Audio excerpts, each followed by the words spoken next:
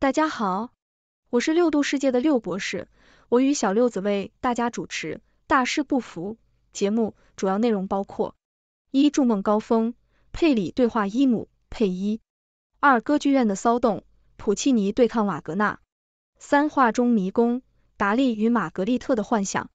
那么，小六子可以先跟我们说说筑梦高峰，佩里对话伊姆，佩伊。各位听众、学生、历史爱好者。今天我们要来聊一个非常有趣的话题，筑梦高峰，佩里对话伊姆，佩伊。首先，让我们搞清楚，这里的佩里不是指那位在日本开启黑船来航的美国海军准将马修佩里，而是指一位假想的角色，我们就叫他建筑迷佩里好了。而伊姆佩伊，这位就是真实存在的一位享誉世界的建筑大师，负责设计了许多令人赞叹的建筑，包括巴黎的罗浮宫金字塔、香港的中银大厦等等。那么，如果建筑迷佩里有机会与伊姆佩伊对话，会发生什么有趣的事情呢？让我们来开启想象的翅膀，一探究竟。建筑迷佩里，伊姆先生，您的作品总是让人感到既现代又充满诗意，您是如何做到的呢？伊姆佩伊，哦，佩里先生，建筑就像是一首诗或者一首无声的音乐，它需要节奏、和谐，还有那不可言喻的灵魂。我设计建筑，就像在与材料和光线对话，寻找那个完美的平衡点。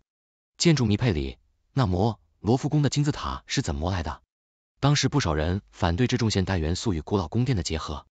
伊姆佩伊，哈哈，是的，那时候可是引起了不小的争议。但你看，历史总是需要新的血液来激活。我相信新旧的对话可以激发出更多的可能性。金字塔不仅仅是一个入口，它是一个连接过去与未来的桥梁。建筑迷佩里，真是太神奇了。那您在设计时有没有遇到过什么特别的挑战？伊姆佩伊挑战，那是每个项目的日常。比如说中银大厦的三角形结构，当时很多工程师都说这是不可能的，但是我们做到了，不仅创造了一个结构上的奇迹，还让建筑在风中摆动，就像是一颗竹子。建筑迷佩里，哇，那真是太酷了。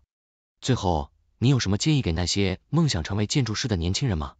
伊姆佩伊。年轻的朋友们，记住，建筑不仅仅是砖瓦和玻璃的堆砌，它是文化的载体，是人类情感的家园。要敢于梦想，敢于挑战，但同时也要尊重历史，尊重环境。只有这样，你们才能筑梦高峰，创造属于自己的传奇。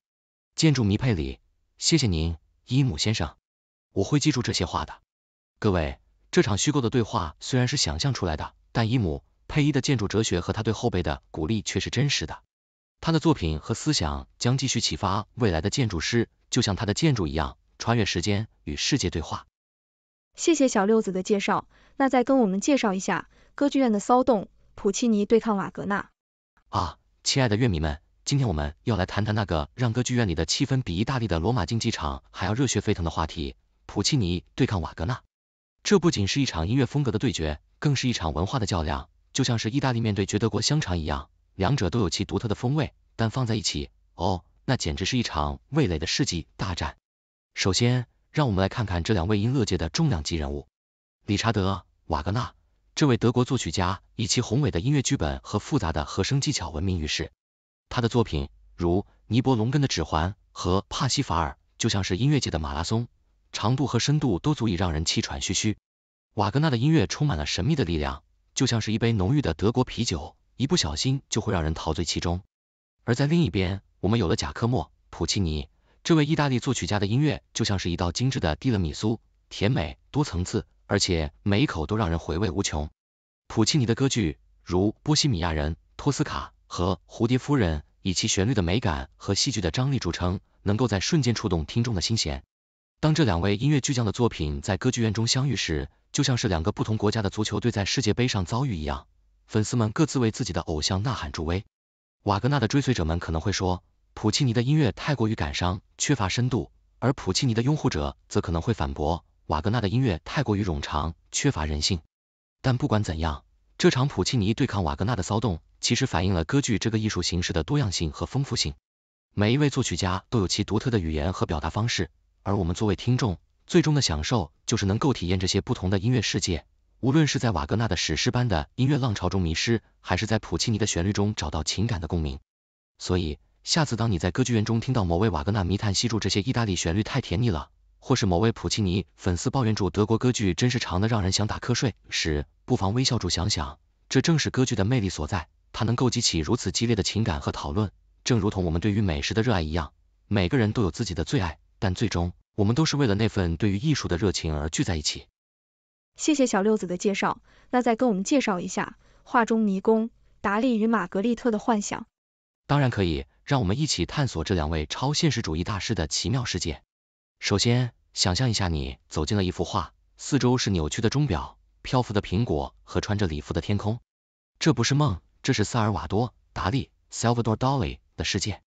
而在另一幅画中，你可能会发现一顶帽子变成了一只鸽子，或者火车从壁炉中驶出。这些荒诞不经的场景是勒内·玛格丽特 （Rene Magritte） 的杰作。达利这位西班牙画家以他的长长的胡子和狂野的眼神闻名于世。他的作品充满了梦境和潜意识的图像。他的画作《记忆的永恒》中那些软绵绵的钟表，可能是在告诉我们时间的相对性，或者只是他忘记了把他的钟表放进冰箱。而玛格丽特这位比利时艺术家喜欢用平常的物体制造不平常的场景。他的画作《人的条件》中，画布上的风景与背后的实际风景完美融合，让人分不清哪里是画，哪里是真。这可能是他在提醒我们，现实和幻想之间的界限有多么模糊。或者他只是在玩一个非常高级的找不同的游戏。这两位艺术家都喜欢挑战我们对现实的认知。达利的画作让你觉得自己吃了一块会让你缩小的奇异蘑菇，而玛格丽特的作品则让你怀疑自己是否真的醒着。他们的画中迷宫是充满了象征、隐喻和幽默感的地方，每一次探索都能发现新的意义。在他们的世界里，你可能会遇到穿西装的男人没有脸，或者天空下着一场由狮子、伞和钢琴组成的雨。这些图像可能会让你感到困惑，但也正是这种困惑激发了我们对超现实主义的好奇心。总之，达利和玛格丽特的幻想世界是一个充满了惊奇和哲学思考的地方。他们的作品不仅仅是视觉上的享受，更是智力上的挑战。下次你再看他们的画时，不妨试着问自己：这是现实，还是只是一场梦？或者，这只是两位天才艺术家在和我们开的一个宇宙级别的玩笑呢？谢谢小六子的介绍。各位观众，你有什么样的想法呢？你认为建筑迷佩里和伊姆佩伊的对话会如何进一步发展呢？你喜欢马格纳还是普契尼的音乐呢？又或者你更喜欢达利还是玛格丽特的画作呢？快来与我们分享你的想法吧！谢谢大家收看六度穿越系列节目，这个节目由媒体专业人士、科学家、工程技术人员编纂、设计、制作。但是这些内容并非用于做出决策或法律裁定的基础。欢迎在节目留言区发表您的见解，纠正节目可能存在的错误。谢谢大家收看，欢迎订阅我们的频道，给我们节目点赞。